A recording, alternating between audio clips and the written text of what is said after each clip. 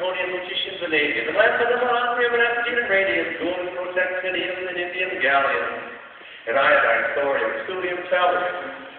There are yttrium, and terbium, actinium, rubidium, and boron, gadolinium, niobium, iridium, strontium, and silicon, and silver, and samarium, and dysprosium, lithium, beryllium, and barium.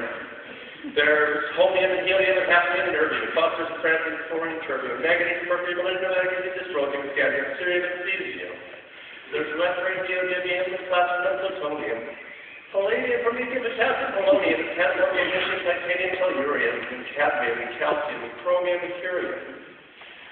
There's sulfur, californium, fermium, berkelium, and also ultramentalladium, titanium, nobelium, and argon, krypton, neon, radon, xenon, zinc, and rhodium. Chlorine, carbon, cobalt, copper, tungsten, tin, and sodium. These are the elements they know about at Harvard. At Aarhus University will unanimously agree that others were discovered.